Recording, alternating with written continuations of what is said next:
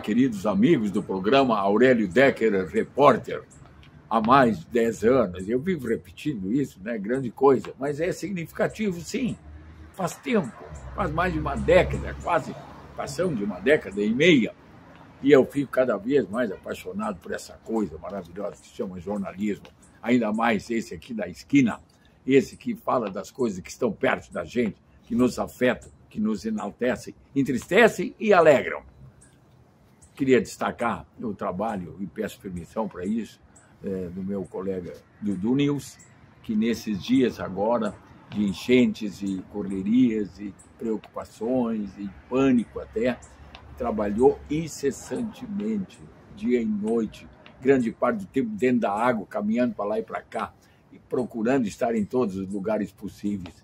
Até porque o estagiário dele, aos 74 anos, agora está com uma metástase no câncer, que era de próstata. O câncer resolveu dar um passeio pelo corpo, eh, se abrigou perto da coluna cervical, mas já fogueteamos esse foco com radioterapia e vamos ter talvez quimioterapia, tudo que é pia. Nós vamos em cima para cima para tentar eh, ter mais, eh, não uma cura, que seria demais, mas enfim, uma sobrevida maior.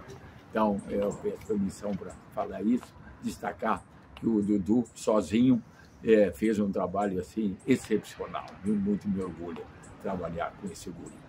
Como me orgulha muito estar aqui junto com o Rafael Decker, meu filho, e a Waina Altenhofen, a Waina que está agora voltando mais para fazer também o programa Aurélio Decker Repórter, ela que há vários anos já trabalha conosco. A edição sempre é da Diana Mendel, nossa querida amiga Diana Mendel, que faz a edição dos programas. Ela junta todos os materiais e tal, e com habilidade edita. Ok? A questão que eu queria destacar são duas. Uma, tá, pode me criticar. Ah, o Léo é muito puxa-saco dos filhos dele. Ai, é, eu sou mesmo, eu amo ele intensamente. Mas o Rafael Deck, que tem o programa é, Plantar para crescer. Plantar para Crescer, ele gritou de lá para mim não errar é, ele, ele tem falado, ele falou no ano passado, há mais de um ano, e no início desse ano, ele insistia em dizer: atenção, atenção, nós vamos ter chuvas aí pela frente, é, o Laninha que está parando, o, o El Ninho que vem, um para, o outro volta, ninguém entende direito quem é Laninha e qual é o El Ninho, mas a gente sabe que é muita seca ou que é muita chuva.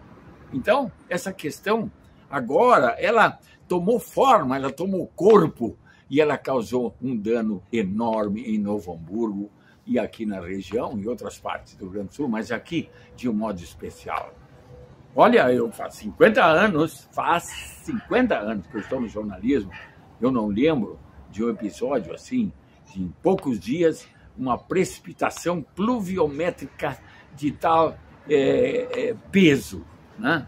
Nós, nós tivemos uma chuva inacreditável e ela causou aí esse alvoroço na cidade, desabrigando pessoas e ativando aquilo que Novo Hamburgo tem entre as suas maiores virtudes, que é a solidariedade. Impressionante. É, nesse quinhão também a prefeitura realiza um trabalho bom, ajudando, é, junto, promovendo com outras entidades e ações isoladas a distribuição disso para que as pessoas que perderam praticamente tudo ou quase tudo, ou que estão desabrigadas, que estão flagelados, que tenham pelo menos uma alimentação, que tenham vestimentas e que tenham uma cama é, quentinha para poder dormir nessa é, essa prova que estamos de novo submetidos e que não foi previsto, né? Interessante. Eu não, eu estava até comentando com a Uaina e com o Rafael, eu não vi nenhuma é, previsão de dois, três dias anteriores ao fato. Olha, vai acontecer o seguinte: é, se falava, assim, nós vamos ter chuva, mas não dessa intensidade. Então nós fomos pegos de surpresa. Sim, fomos pegos de surpresa. Também eu quero destacar no programa de hoje um trabalho é, que eu diria é, também excepcional, feito né, é, pela Comusa. Né? A Comusa que tem a missão de tratar a água e distribuir essa água, e agora com a missão mais nobre ainda, que é o tratamento de esgoto, que pretende nos próximos anos, dois, três anos, levar, elevar a 50% de tratamento o esgoto de Novo Hamburgo, né? fazendo voltar para o Rio dos Sinos uma água mais limpa do que quando ela foi retirada na captação. Então, é um trabalho hercúleo que está sendo feito, é um trabalho dedicado, é um trabalho importante para a nossa cidade. Se fala, e os técnicos estão aí lembrando sempre, que cada tostão, cada real, cada centavo investido, que se investe né, no tratamento de, esgoto, traz um benefício enorme do ponto de vista econômico, né, nessa, é, é, transformado que é em benefício para a saúde da população. Então vamos lá, a Comusa, o destaque que eu queria fazer é que, embora essa enchente toda que aconteceu, embora que o equipamento da Comusa esteja todo praticamente submerso, não dá para enxergar nem a, os canos que trazem água na captação do rio, nem na estação do rio. Então a Comusa ela não parou, ela não parou de captar, ela não parou de reservar. E é, o próprio é, presidente Líderes, o nosso vice-prefeito, o Márcio, dizendo que está contente porque houve um trabalho dedicado, um trabalho de mutirão praticamente entre os integrantes da equipe Comusa para garantir que Novo Hamburgo pudesse estar colhendo a água, tratando a água, distribuindo a água, e aí nós estamos com males um pouco menores que, é, do que ainda poderia acontecer. Então, é, outros colegas de imprensa também se apressaram com justiça, né, destacar esse trabalho da Comusa. Eu lembro que nós fizemos no Aurélio Decker Repórter, há uns dois anos atrás, uma reportagem grande com uma equipe de mergulhadores. Né? Pouca gente sabia disso, muita gente se surpreendeu. Nós estivemos lá juntos, passamos um dia inteiro com os mergulhadores. Eles usam esses equipamentos, eles mergulham, eles vão embaixo, eles tiram, eles desentopem, eles fazem de tudo, que é para as máquinas poder dar conta de um abastecimento de água importante numa cidade como Novo Hamburgo e nós não sofremos em que pese mais de 8 metros acima do nível do rio. Em 2003 nós tivemos, meu Deus, é, é, em outras épocas também, mas, mas vamos, dizer, vamos falar em 10 anos. Há 10 anos atrás tivemos é, assim, uma, uma grande preocupação com uma estiagem que estava vendo, o próprio presidente foi lá marcar né? o rio estava com quase nada de água, era uma preocupação grande que fosse falta água dia sim, dia não, bairro sim ganha, no outro não, não ganha e tal, papapá. Então, agora aconteceu o contrário, muita chuva, mais de 8 metros acima é, do, do, do que seria o tolerável. Assim mesmo, não houve interrupção do fornecimento de água, porque não houve interrupção na captação de água e nem no tratamento de água. O presidente líder da Comusa destacou que o esforço que foi feito, um esforço muito grande entre todos os, os membros da Comusa, o, o, corpo técnico, o administrativo, o diretivo, né, no sentido de, de dar uma resposta para a cidade dizendo água não vai faltar, água vai ter nas torneiras e nós precisamos disso. Então, quero destacar esse trabalho que eu acho digno de de, de se registrar. E também a solidariedade, que eu falei há pouco, Novo Hamburgo, ela teve a sua solidariedade ativada, atiçada. É, é, é, é, é essa, essa, pequena tragédia, ela, quando eu era criança, se falava muito, abre aspas, indicou, né, indicou com a capacidade das pessoas locais de servir aos outros. Então se formaram equipes de trabalho, equipes de mutirão, e a prefeitura teve uma excelente coordenação nesse trabalho de levar é, conforto para aquelas pessoas que tiveram prejuízos enormes. Então, vamos lá, Comusa, nota 10, que bom.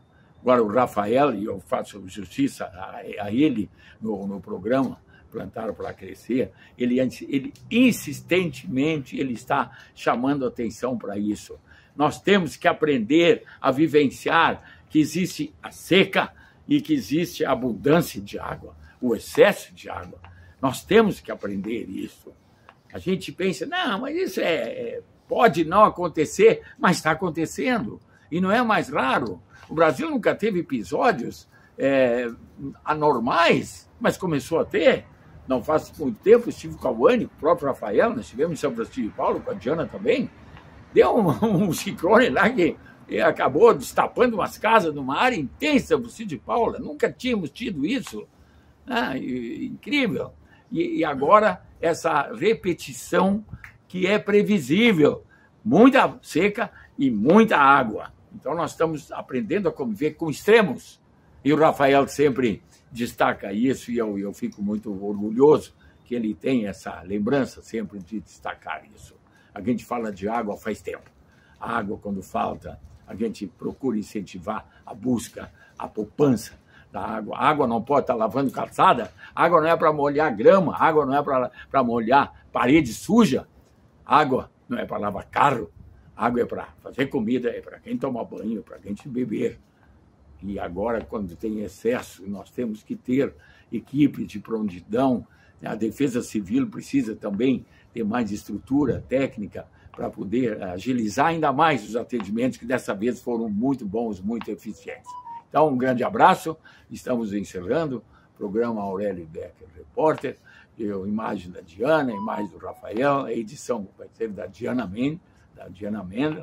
Então, o Anne e o Rafael produzem, a Diana edita e nós convivemos com vocês mais uma quarta-feira, das 21 às 21h30, aqui na Vale 3, na Vale TV.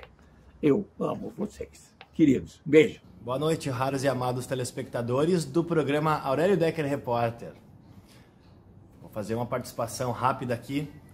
Fico feliz pelas palavras do Lelinho agora há pouco na filmagem.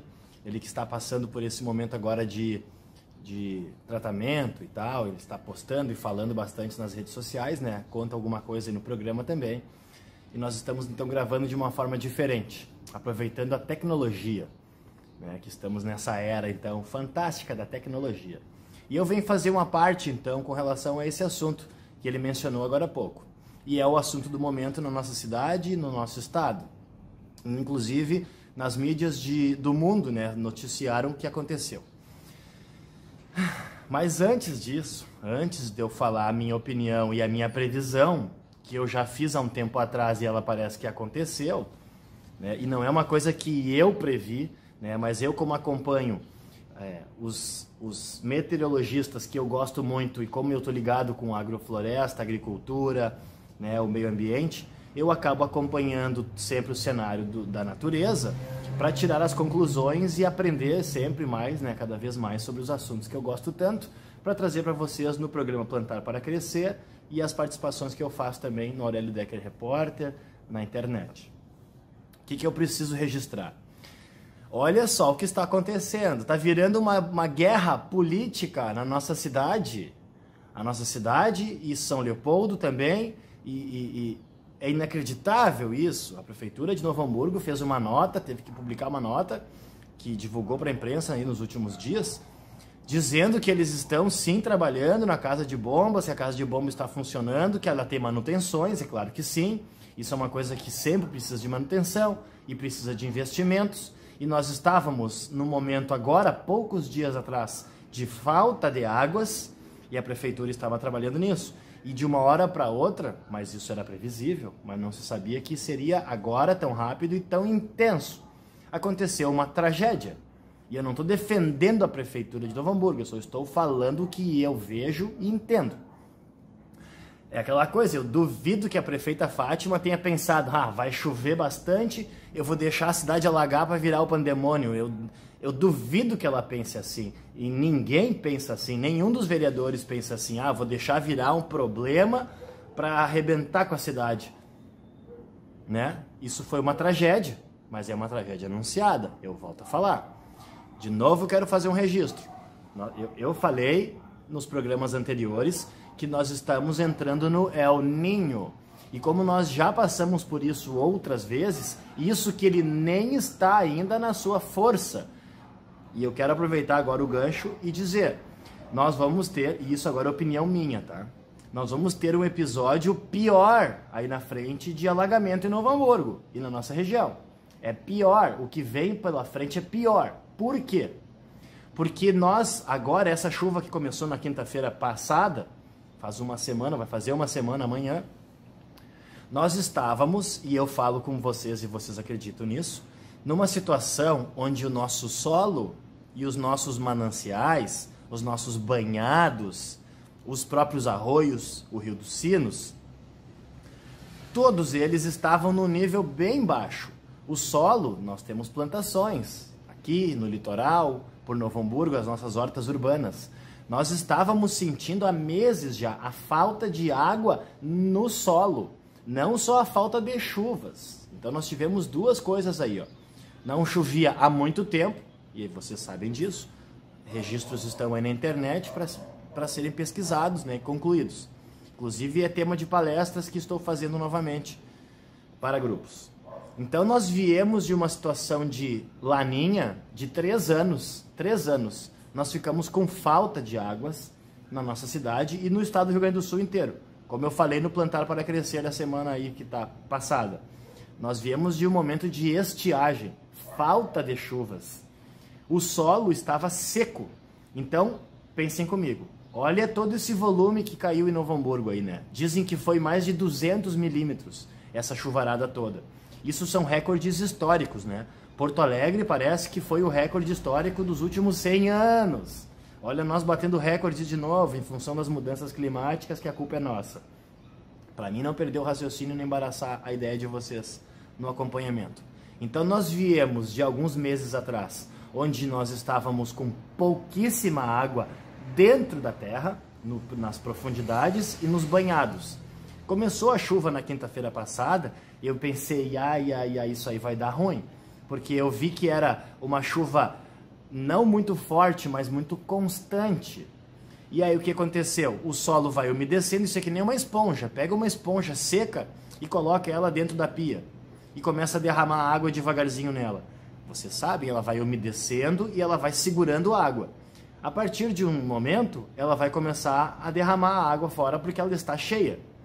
Então, de novo eu falo, nós viemos de um momento onde nosso solo estava igual uma esponja seca, absorveu um tanto de água, aí tem um tanto que Novo Hamburgo impermeabilizou as suas ruas, suas calçadas né, e os seus pátios, e isso vai contra nós neste, nessa situação, porque a água que cai, ela deveria ficar no lugar. Né? Eu já falei muito sobre isso, o programa Plantar para Crescer foi exatamente em cima disso.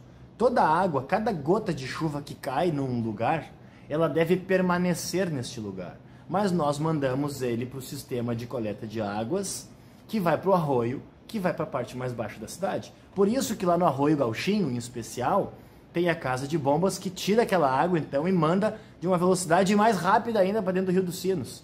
Só que o Rio dos Sinos já estava alto. E pelo que nós estamos sabendo, e a gente sabe disso, São Leopoldo também contribuiu, né? Porque agora Novo Hamburgo e São Leopoldo estão discutindo, brigando, no momento que deveria ser de união. E com os vereadores também. Não querendo pregar a paz mundial, mas não adianta ficar discutindo agora, as pessoas estão debaixo d'água. Vamos discutir outra hora, vamos primeiro resolver o problema. Que é o lixo que vem de São Leopoldo, não só de São Leopoldo, porque daí tranca as bombas, daí tem que ter gente lá gastando dinheiro público para limpar o lixo, né? Daí começa toda uma confusão. Mas olha o desenrolar da história e meu tempo já está acabando, eu preciso concluir. Nós causamos o problema, primeiro, de colocar pessoas e casas onde não deveriam estar. Essas pessoas aí que estão nessas áreas alagadas, o que, que seria o certo? elas não deveriam mais voltar para suas casas. É muito fácil eu falar isso porque eu não tô lá, a minha casa não é lá. Mas lá não deveria ter ninguém lá. As pessoas deveriam estar em outro lugar. Mas isso é um problema muito antigo, que provavelmente não vai ser resolvido agora.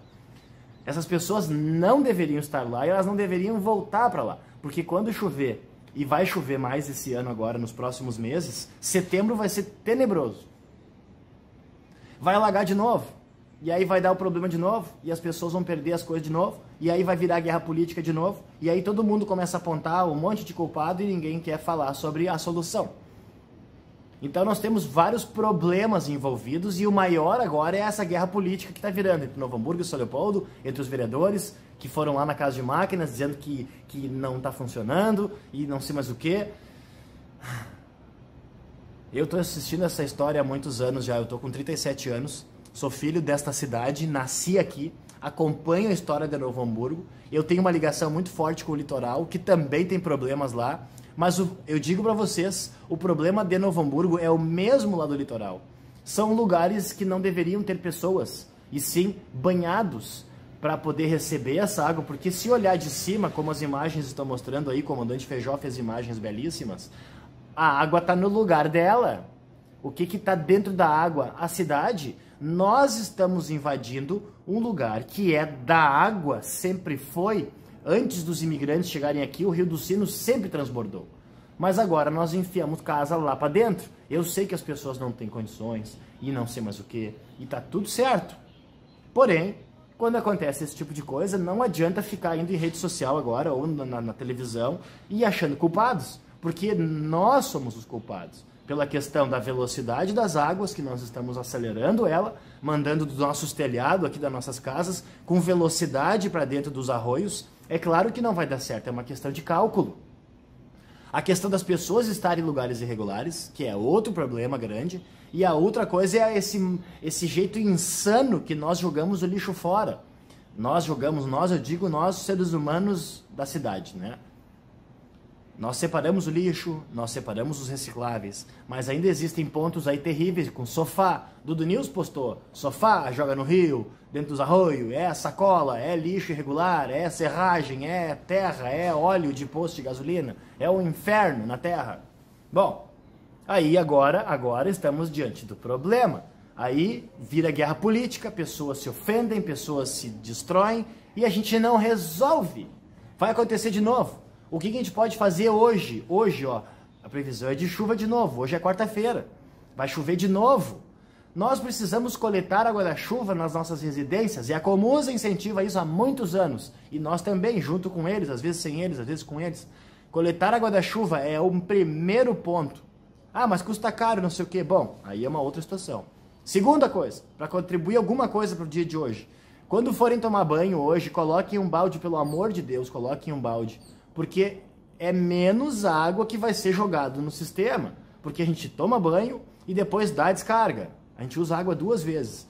Se nós utilizarmos a água do banho, pegar ela com um balde, não vai precisar da descarga, então pega essa água e joga dentro do sanitário. Outra coisa que a gente faz também, a água da máquina, quando a máquina for centrifugar, recolhe essa água em baldes e utiliza para qualquer coisa.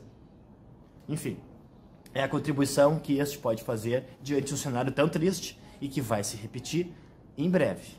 Voltamos a falar.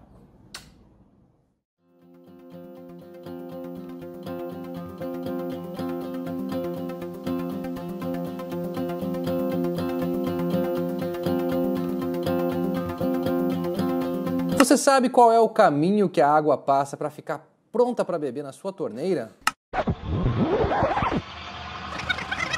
A Comusa, Serviços de Água e Esgoto de Novo Hamburgo, capta água bruta direto do Rio dos Sinos, na elevatória de água bruta que fica ao lado da ponte da estrada Leopoldo Petri, em Lomba Grande. Ao todo, são captados 750 litros de água por segundo. Essa água bruta percorre então um caminho de quase 5 quilômetros até a estação de tratamento de água do bairro Rondônia. A água dos sinos que chega na Comusa é completamente imprópria para o consumo. Assim, começa o processo de tratamento da água. O processo se desenvolve em cinco etapas. Primeira etapa: coagulação e floculação. Nessa etapa são adicionados os produtos químicos responsáveis pela remoção de cor, turbidez e a carga orgânica mais significativa presente na água bruta. Segunda etapa, decantação. A água é conduzida para os tanques decantadores. Os flocos que já foram formados são removidos e se depositam no fundo do tanque pela gravidade. O resultado é uma fase líquida com água clarificada e uma fase sólida decantada. Terceira etapa, filtração. A água clarificada é conduzida para os filtros de areia com o objetivo de remover os flocos mais finos e leves que não foram retidos nos decantadores, sendo obrigada a atravessar um meio poroso composto por carvão e areia. Quarta etapa: desinfecção. São adicionados à água clarificada produtos químicos à base de cloro para promover a destruição de diversos microorganismos. A Comusa utiliza atualmente uma solução líquida de hipoclorito de sódio como agente desinfetante. Quinta etapa: fluoretação. Nesta última etapa é feita a aplicação de produtos químicos à base de flúor na água tratada, com o objetivo de prevenir a incidência de cárie dentária. Atualmente, a Comusa abastece com água tratada 98% de toda Novo Hamburgo em mais de 900 quilômetros de redes que atravessam toda a cidade. O controle de qualidade da água captada, tratada e distribuída é feita a cada hora, todos os dias. São mais de 120 pontos de controle de qualidade em todo o município.